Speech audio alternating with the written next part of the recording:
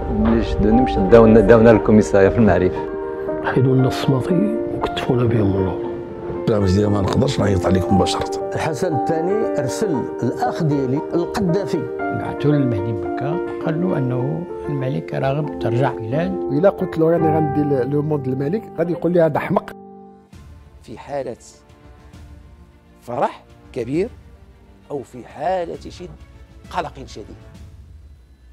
فأنا ملي وأنا عارف هاد القضية. قلت هذا قلق شديد. يعني هذا قال لي بحال قال لي تفضل. أولدي جلست في الكرسي. قال آدم من هذوك المديرين اللي قلت لك المسؤولين ديال وزاره الجلوس وسألني سؤال. بما انك بغيتي تعرفي التفاصيل لاول مره يعني يعني كقصة يعني سألني سؤال قال لي بدون مقدمات إحنا كنا على الساعة الواحدة قال لي بالحرف إذا احتاجك وطنك هل سوف يلقاك؟ فهمت؟ الرسالة مشات لي مباشرة. لا فهمت الموضوع. فهمته بالعكس؟ اش قلت؟ قلت بأنه كاينة لجنة إقليمية ديال الانتخابات في العيون. ربما مولاي مصطفى بغى يرسلني من سلا للعيون.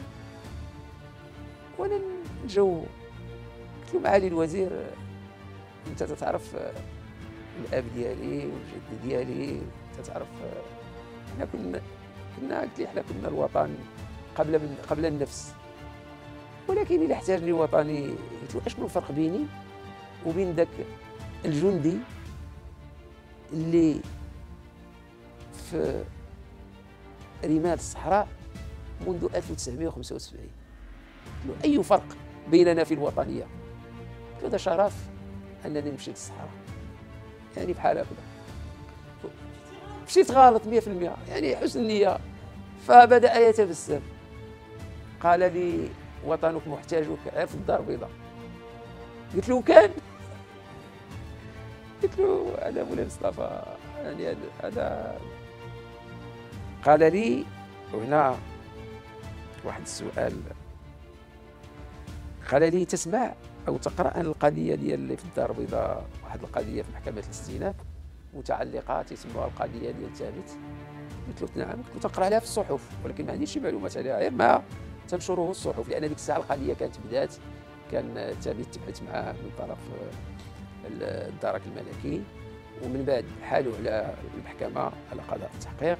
من بعد قاضي التحقيق أمر بال... طبعا الاعتقاد ديالو والبحث وتقدموا معاه مع الأسف واحد الرؤساء ومسؤولين أمنيين كبار يعني اللي كانوا عندهم يد في هذوك الجرائم. وطبعا القضية يعني هذا هو المعلومات اللي عندي عليها. والامر تيتعلق بجرائم أخلاقية بأنه شي 500 كاسيت كانت ديك الساعة مصورة كل كاسيطه فيها ثلاثة السوايع. 500 ضربها في ثلاثة هي 1800 ساعة ديال الجنس الخليع والشاذ وهذا. يعني كان هادشي كان يثير الانتباه. والقضية اللي أثارت القضية في مع الأسف الشديد في, في, في علاش قلات هو أن أي بيت مغربي ولا خايف على راسه.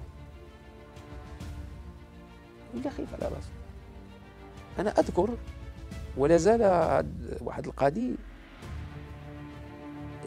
جاء عندي بواحد السرية أثناء المحاكمة قال لي الأستاذ أنا من نهار القضية ديال وأنا مشوش قلت له علاش؟ قال لي لأن زوجتي مشات صوبت ال passeport عند هذاك السيد لأنه كان بكري ملي تتبغي تاخذي الجواز ديال السفر لابد ما تيدوز البحث عن طريق الاستعلامات العامة. وهذا هو هو كان عميد ممتاز ديال الاستعلامات العامة. بحيث هذيك العمالة ديال عين السبع كلها بلفيدير عين السبع بالروسي ما كانش كلها كانت تابعة ليه واحد التراب كبير. وأي مرأة بغات تاخذ الباسبور لا بدا خصها تجي. هذا هو.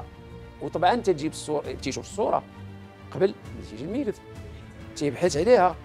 وتتمشي عندها إذا ولا الناس كلها اللي أي واحد قالت له مراته راني أو بنته أو اخته أو خطيبته أو هذا ولا تيشك. هذا هنا منين جا؟ ذاك الشعور ديال المغاربة وديال الرأي العام. بهذه القضية. يعني يعني تيجيو تيشوفوا لأنه ما عرفوش الضحايا ثانيا ملي تتقولي لي 500 يعني 118 الكاسيت و500 مراه و118 ضربها في ثلاثة هي تقريبا 400 ساعة. يعني تصور هذا العدد يعني غادي يكون شوية جريمة. ماشي ماشي جريمة عادية يعني ماشي يمكن وماشي شخص عادي يعني ماشي شخص عادي يعني يعني ف يعني طبعا آه، هاد القضية قلت له تقرأ الصحف بحالي بحال معالي الوزير. قال لي شوف هاد الناس اللي قدامك. هادو زملاء ديال القضاة. قال لي بحال هكذا الله يرحمه ما غادي نزيد عليه حتى شي حاجة لأنه في دار الحق وهذاك الراجل الاب ديالي قال لي هاد الناس رجال ديال الثقه ديالي وأنا قد- قضيت 12 سنة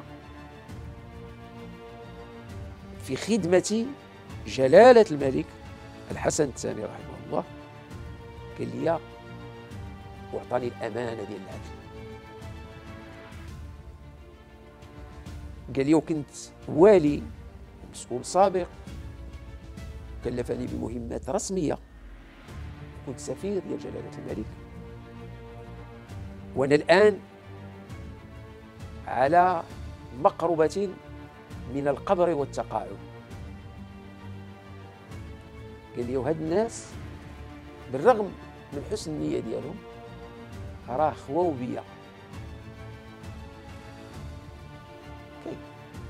وزير العدل لأن أقرب المساعدين إليه. يعني قال لي لقد تركوني وحيدا في الاختيار.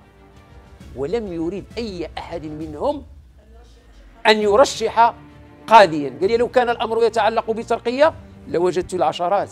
لو كان الأمر يتعلق بسفرية خارج المغرب لا الامر يتعلق بعشرات. قال لي البارحة بأمر من جلالة الملك طلبت منهم أن يرشحوا لي وكيلا عاما يرافع في هذه القضية لأن النيابة العامة ربما التي كانت ترافع لم تنل رضا الوزير أو في إحدى الخرجات القانونية أو فاعطيتهم موعدا على الساعة العاشرة اليوم ولكن أي أحد منهم لم يرد أن يرشح احدا خوفا من أن لا يكون ذلك الوكيل العام في مستوى المسؤولية فيتحملون المسؤولية. ولكن أنا القرار قال لي عندي دابا هذه والقضية بين جلاله الملك يتتبعها مباشرة. فقال لي لا أريد أن أخرج من وزارة العدل وجلالة الملك غير راضي على عملي الذي كان راضيا عليه منذ خمسين سنة. كان على عشب يعني عتبة التقاعد ومولاي مصطفى راه كان في الخمسينات من الخمسينات وحنا كنا ديك في التسعينات. يعني فانا يعني بديت تنحس بالهول والثقل ديال المسؤولية. ما تنسايش راني شاب عندي 33 سنه يعني راه باقي يعني باقي يعني يعني باقي يعني حتى يعني ال- الرزانة باش غادي نسمع والنضج وهذا. خليه رحمة الله عليه فقلت لهم سوف أرشح أحدا. وسوف ألعب ورقة الشباب فإما سوف يكتب لي أن أخرج بشرف من وزارة العدل وأكون عند حسن ظن جلالة الملك. وإما قال لي بحال هكذا أطلب الاعتذار من جلالة الملك وأقول له وهذيك قالها بالحرف باش ما نزيد ما نقص إن ابن بالعربي العلوي لم يكن عند حسن ظنكم لأنه لم يستطع تكوين وكيل عام وكيلا عاما للملك في المستوى الذي تطمحون إليه في قضية كبيرة. قال أبحارك لا وأنا لا زلت أتذكرها. قال لي كاين جوج الاحتمالات. حرك وقال لي ولم يناديني بالرياح. قال نردي. قال لي السي نردي. إما أن ننجح جميعا؟ أنا وأنت. وسوف نكون الاثنين. قد رضي علينا جلالة الملك.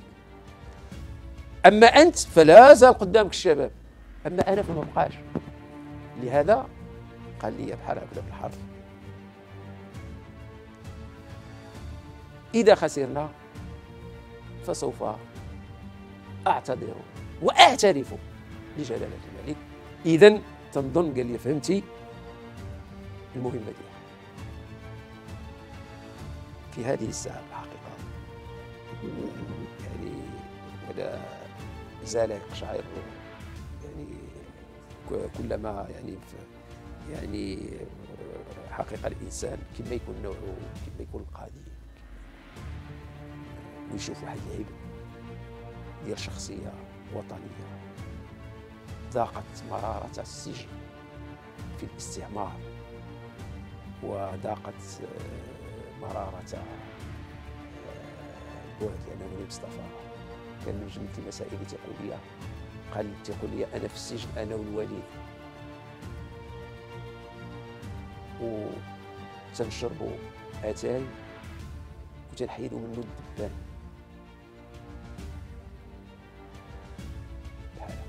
إذا ما كانش عندنا أتاي باش نقدروا نشربوا في السجن. هذا الرجل الذي ذاق مرارة السجون وكان مسؤولا كبيرا في وزارة الداخلية. في أول كان هو رئيس قسم الولاة والعمال في بداية الاستقلال ثم واليا للدار البيضاء الكبرى ثم سفيرا لجلالة الملك ثم وزيرا للعدل. تقول لي أن المصير ديالي مرتبط بمصيري أنا لم أعد أرى آه، مسألة قضية أو مسألة أنا أرى مستقبلا آه، معنويا لرجل في السبعينات من عمره يحملك هذه المسؤولية. وقال لي بالحق رحمة الله عليه ولكن لتعلم بأن هذه القضية سوف تجلب لك الكثير من المخاطر. هذه القضية وأنا أعلم سوف تجلب لك الكثير من المخاطر ويلزمك شجاعة أدبية وأخلاقية لقبول هذا العرض تصوري ماشي هاد نور الدين الرياح اللي تيدوي معاك دابا. شاب عنده 33 أو 35 سنة 35 سنة 35 سنة. ويرمى عليك بهذا الثقة. إنا عرضنا الأمانة على السماوات والأرض فأبين أن يحملنها وحملها الإنسان. إنه كان جهولا كفورا. يعني, يعني باش يعني حقيقة كان اليوم تشكرك شكرا جزيلا لأنني من خلال هذه القضية رجعتني تنعيشها وكأنها بالأمس لأنها من لحظات آه، الخالي تنشكرك لأنه عبر شي صحفي آه، تيقول تنعطيهم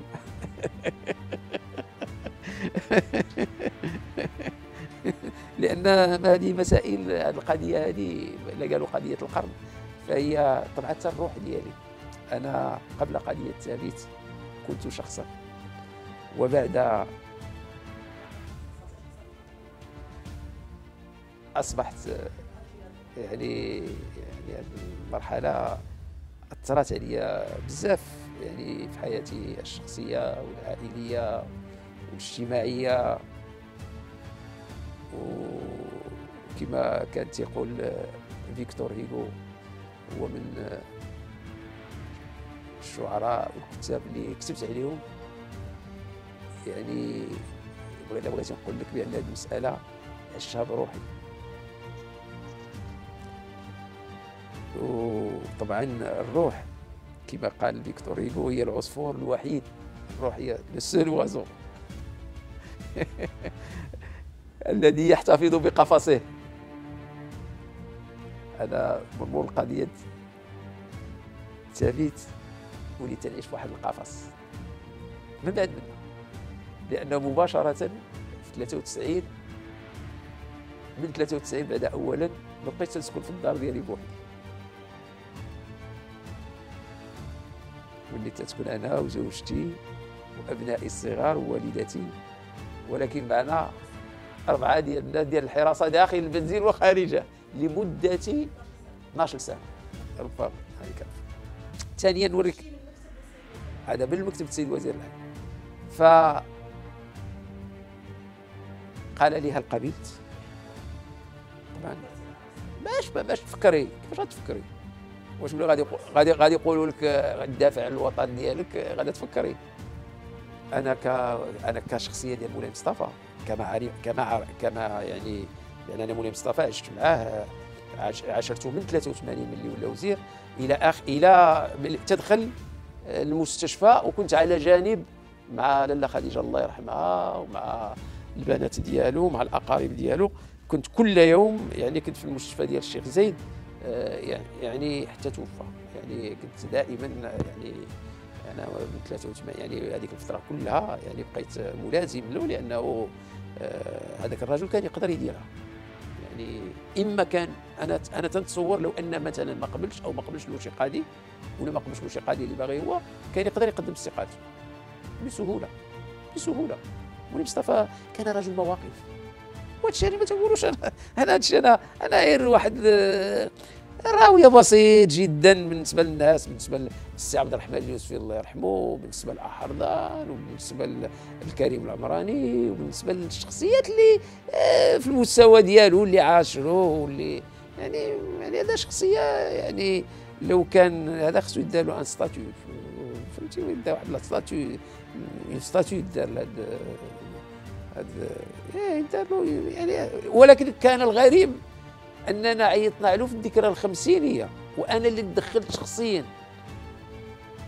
بطلبين من رئيس المجلس الاعلى أنذاك. قال لي باش لاننا هيئنا كل شيء في الذكرى الخمسينية وكانت مناسبة لتكريمه على صعيد وطني. فرفض. كان يرفض حتى التكريم. إيه راجل من واحد الطينه أخرى واحد. اذا قلت له مولاي مصطفى أنا رانا إشارة وطني و ومالكي ووزيري ويعني أنا الإشارة.